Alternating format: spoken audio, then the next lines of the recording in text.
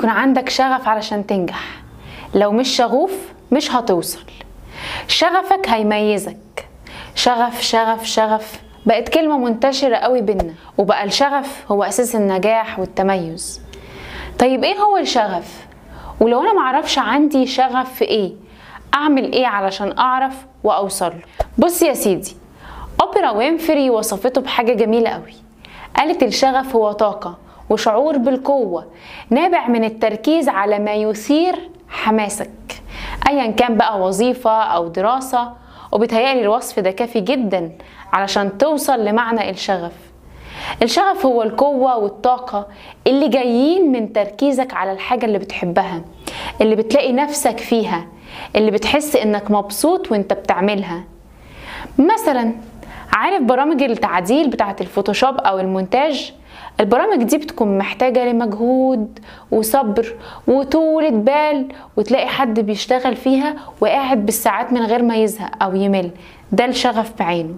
وحد تاني معاه في نفس شغلانته يقعد يعمل بوستر ولا حاجة وتلاقيه اتخنق بسرعة وزهق وقام. هو ده الشغف. الأولاني شغوف قوي بالحاجات دي فيقعد يشتغل من غير ما يزهق. أما التاني فما عندوش شغف في الحاجة دي إن هي بس مجرد شغلانة بيقضيها فبيشتغل وهو زهقان ومش مستحمل.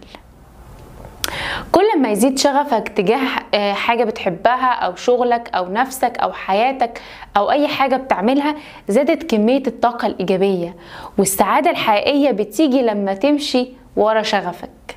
بس للأسف في نفس الوقت كتير جدا مننا دلوقتي لسه لحد دلوقتي معرفش يوصل لشغفه ولا يحقق طموحه.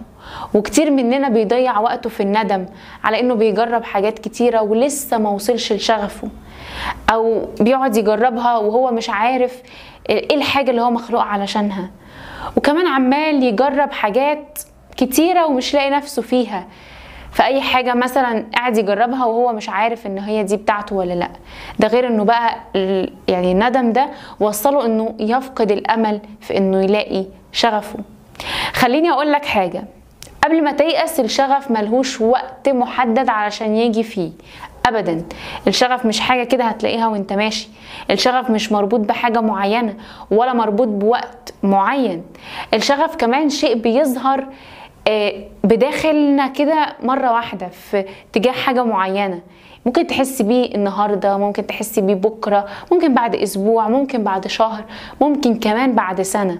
وممكن توصل لعدد كبير جدا من السنين وانت لسه معرفتش شغفك فين ومش عارف الحاجة اللي ممكن تنفع فيها. أو الحاجة اللي فعلا على مقاسك ولايقة عليك كده وبتحبها والناس بتقولك أنت شاطر وموهوب فيها وما ينفعش تكون غير فيها. اطمن. طول ما انت بتجرب وما وقفتش صدقني هتوصل. وهتوصل قريب قوي. هتحس بقى فعلا بشغف جواك تجاه الحاجة اللي انت لقيت نفسك فيها. اللي مهما تعملها ومهما بتقضي فيها وقت مش هتكل ولا تمل. بس مهم انك ما تفقدش الأمل. افتح سكة جديدة للبحث. هقولك على طريقة تعرف بيها شغفك. ورقة وقلم واكتب معايا. لا بجد ورقة وقلم وابدأ دلوقتي اكتب الأسئلة اللي هقولك عليها وجاوب عليها بينك وبين نفسك. وقتها هتعرف وتحدد شغفك. أول سؤال لو قدامك فرصة إنك تتعلم حاجة واحدة بس أنت اللي تختارها هتكون إيه؟ يعني إيه أكتر يعني إيه أكتر مجال أنت نفسك تدرسه أو تتعلمه؟ بعيدا بقى عن التنسيق والكلية. تاني سؤال إيه الموضوع اللي لما بيتفتح مع أصحابك بتحب تتكلم فيه؟ بمعنى إنك لما تكون مثلا في قاعدة وتيجي سيرة موضوع معين أنت عينك تلمع كده فجأة وتبدأ تلاقي عندك معلومات وتتكلم فيه وتنصح وتجاوب على الأسئلة في المجال ده وتكون مبسوط وأنت بتتكلم. تالت سؤال إيه أكتر حاجة كنت بتحب تعملها وأنت صغير؟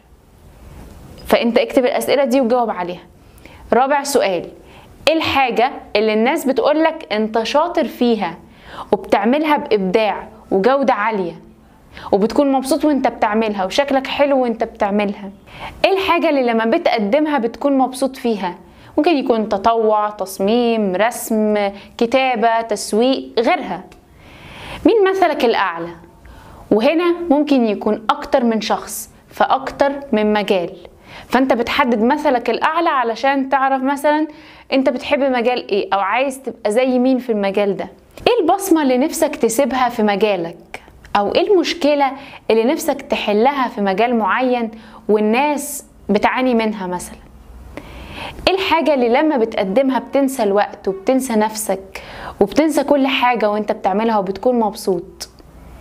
دي أهم العلامات اللي هتعرفك شغفك. تمام؟ آه واحد مثلا بينسى نفسه وهو شغال كده ومعاه آه رشة الرسم وشغال بيرسم. واحد تاني بينسى نفسه وهو ماسك الكراسة والقلم وقاعد بيكتب. واحد تاني مثلا بينسى نفسه وهو قاعد قدام الفوتوشوب وبيشتغل على التصميمات. حد تاني بينسى الوقت والتعب والمجهود في مجال البرمجة وهكذا. إيه بقى المجال أو الحاجة اللي بتنسى بيها الوقت والتعب؟ لو مش عندك ابدأ جرب مجالات وأنشطة جديدة لأن التجربة هي خير دليل. لو قدامك تختار علم واحد تعلمه لغيرك هيكون إيه وفي مجال إيه وخد بالك علشان تتعلم أي حاجة بسرعة علمها لغيرك. وبما إننا بقى بنتخيل فتخيل إنك دلوقتي على فراش الموت وقدامك ست شهور بس في الدنيا إيه الحاجة اللي هتعملها في الوقت ده؟ غير إنك طبعا تزور قرايبك وتصلي وتصالح بابا وماما. سيب الجانب الروحي دلوقتي على جنب. إيه الحاجة اللي هتندم إنك ما عملتهاش ونفسك تقوم دلوقتي وتعملها؟ وخليني اقولك إن ده مش تخيل ولا حاجة لإنك حرفيا مش ضامن تعيش ثانية واحدة. فابدأ اعرف شغفك ودور عليه وعيش حياتك وانت بتعمله وانت بتعمل الحاجة اللي بتحبها لأن مفيش أي وقت تضيعه. سلام عليكم.